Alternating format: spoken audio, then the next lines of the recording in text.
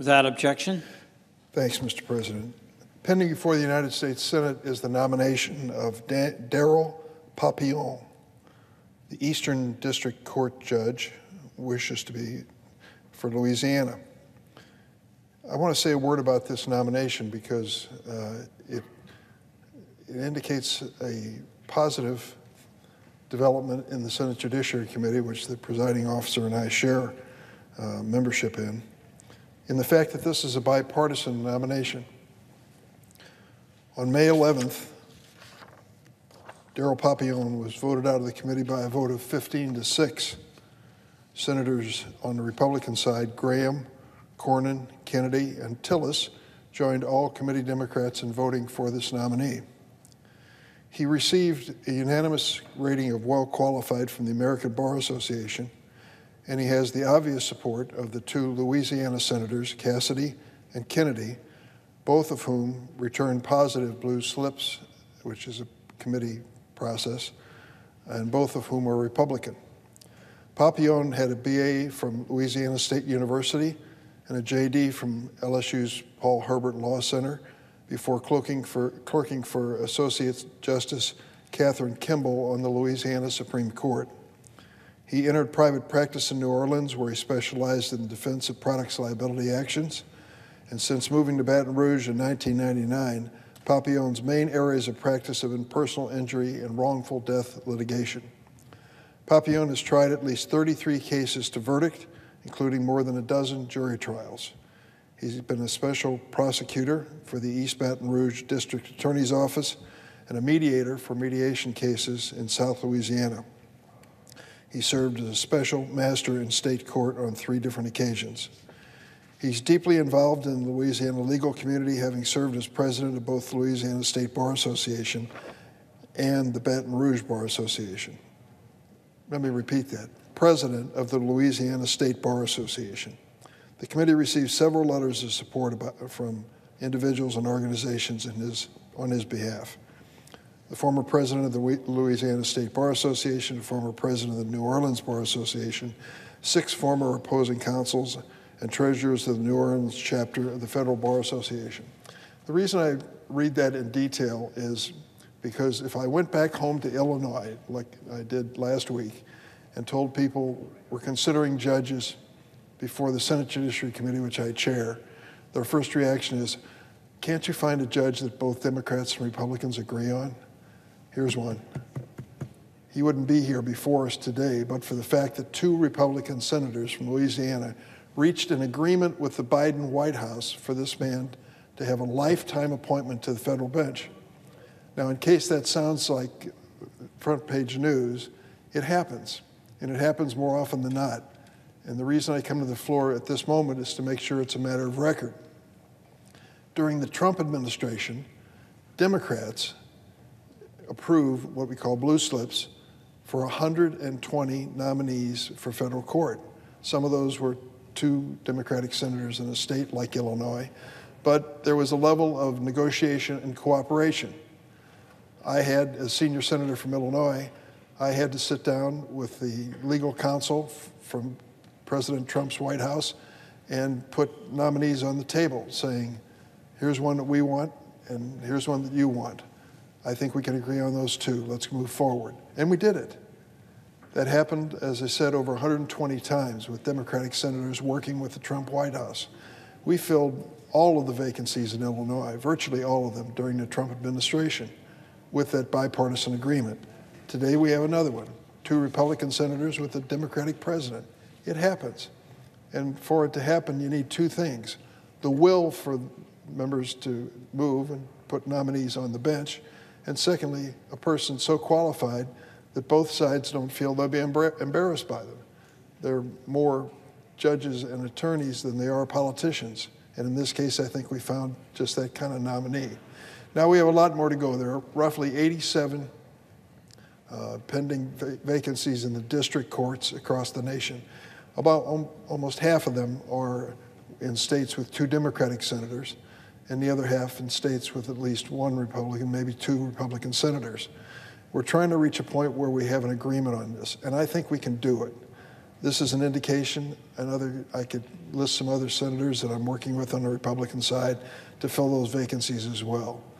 I think that's what the American people are looking for more evidence that we're trying to find some common ground despite the obvious political differences in this nation.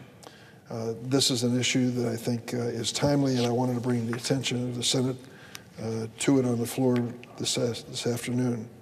Mr. President, when I went home to Illinois, I can't tell you how many people who know that I chair the Judiciary Committee ask me, what's going on with the United States Supreme Court? Obvious question because in the last few weeks there have been disclosures about at least one justice on the court that have raised some serious questions.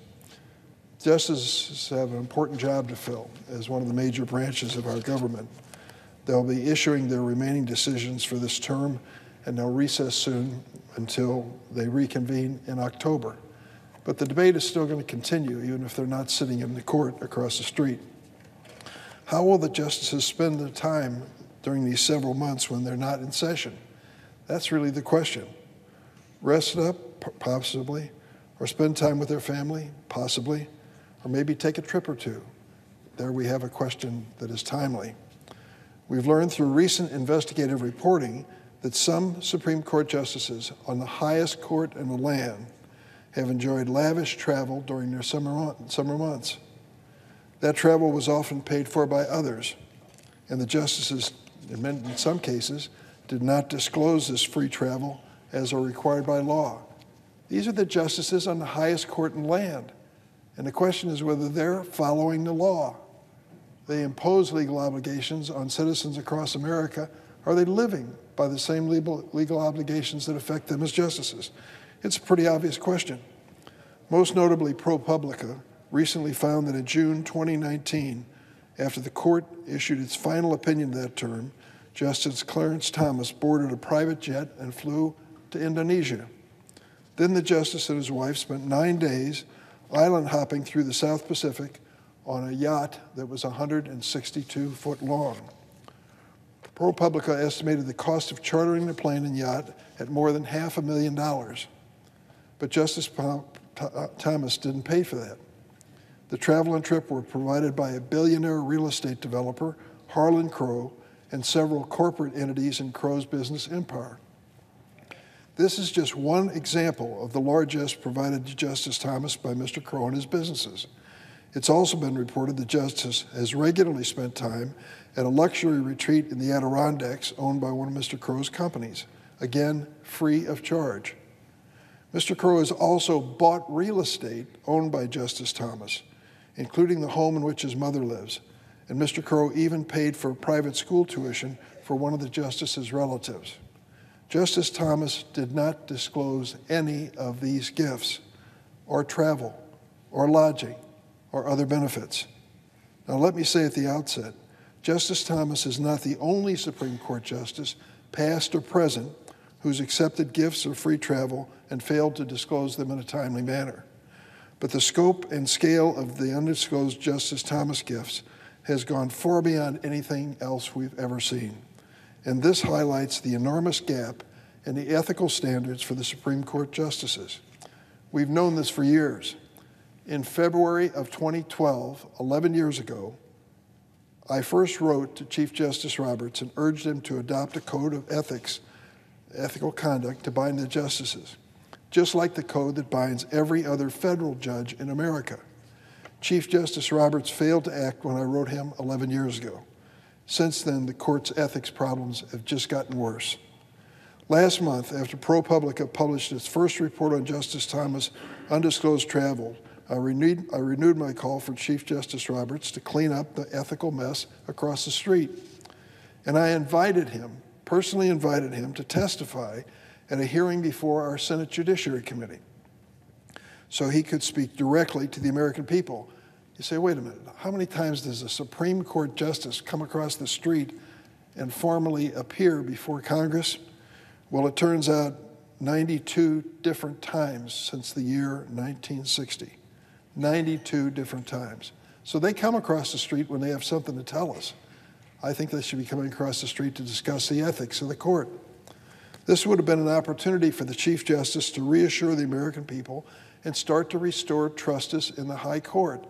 I watch some of those news programs on Sunday morning. I'm a typical politician, and they have the polling data of what people think of the Supreme Court. The numbers are bad. They're almost as bad as Congress. And the fact is, they can do something about it, and they should. This court's trust in this court has fallen to the lowest level in 50 years. And unfortunately, the Supreme Court's Chief Justice didn't accept my invitation to walk across the street. Time and again, again, I've made clear one point I want to make clear today. The Chief Justice, John Roberts, has the ability right now, the authority right now, to impose higher ethical standards on his fellow justices, standards that would be transparent and enforceable. Wouldn't that be refreshing? He could take that action today, but for some reason, so far, he has declined the opportunity. And if he won't act, Congress must. We cannot tolerate a system in which the highest court in America has the lowest ethical standards in the federal government. And we certainly should not begin another Supreme Court summer recess where justices can take free trips and travel under an inadequate set of ethics rules. Last week, Chief Justice Roberts gave a speech and he said something encouraging. I quote, he said, I want to assure people that I'm committed to making certain that we as a court adhere to the highest standards of conduct. He said, We are continuing to look at things we can do to give practical effect to that commitment. While I appreciate the Chief Justice's commitment, the fact is we need action, and he doesn't need to look far, for, far away for solutions. We have known for years what the court needs binding rules and enforcement mechanisms, just like every other federal judge has operated under for a decade. If every other federal judge has ethical standards and disclosures, why does the Chief Justice for the highest court in the land not have at least those levels of uh, ethical standards, but even higher?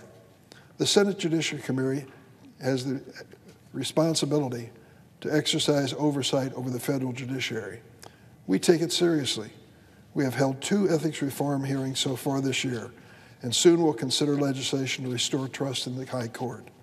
When billionaires and other people with interest before the court try to make friends with the justices through gifts and luxury giveaways, and when they obtain special private access to these justices for themselves and their others, their other friends, it's a serious problem. At minimum, it creates an appearance of undue influence that erodes the public's trust in court impartiality.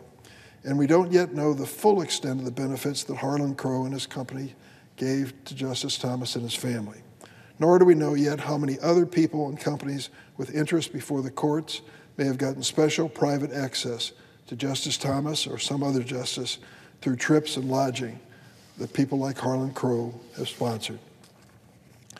My Democratic colleagues on the Senate Judiciary Committee and I sent a letter to Mr. Crow and the three companies that we think sponsored the trips for Justice Thomas.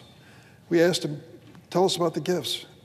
Tell us about the access of people to Justice Thomas during this hospitality uh, extravaganza. The information would be valuable for us in writing a law for the ethics standards of the court. Mr. Crow responded through his attorney last week with a letter that took some astonishing legal positions. He basically claimed that Congress lacks the authority to either legislate or conduct oversight when it comes to the Supreme Court's ethics. He also tried to assert separation of powers as an excuse not to answer our questions. Of course, Congress has enacted many ethics laws that apply to the justices, including a law we passed just last year, bipartisan law sponsored by a Democratic and Republican senator on, a, on stock transaction reporting. The justices have announced they're going to follow those laws. And Mr. Crow is a private citizen, not a branch of government. He can't claim separation of powers as a reason not to provide information pursuant to a congressional oversight request. He's a businessman. He's not a branch of government.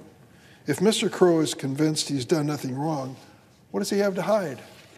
Senator Whitehouse, the chair of the federal court subcommittee, and I responded to Mr. Crow last week, informed them that he still has until next Monday, June 5th, to provide the information we requested. As I mentioned, we'll soon be considering legislation in the committee and his information could be helpful in our legislative effort. Let me close by reiterating that Chief Justice Roberts does not have to wait on Harlan Crow or Congress. He can clean up this mess today by adopting a resolution binding the justices to higher ethical standards. This is the Roberts Court. History is going to write the history of the Supreme Court in the name of this Chief Justice. It happens all the time.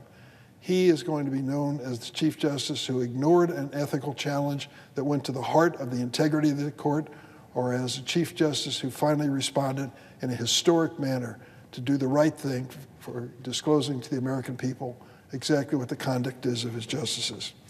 Chief Justice Roberts is known for more than 10 years that this is a problem and the solution is within his authority. He should act before the end of this Supreme Court term. Don't leave this hanging. Don't leave town. Leave Washington, all these the justices of the court, unresolved. I honestly believe, whether I voted for them or not, that there are justices in that court who are uneasy and uncomfortable with the current state of affairs. They are trying their level best to follow the law, and they can't explain why others are not. They want to have an opportunity to prove their own reputations and their own integrity, and they should. The Chief Justice should be listening to them, and I hope he is. It's the Chief Justice and the court's time to act. If they don't, we will. Mr. President, I yield the floor.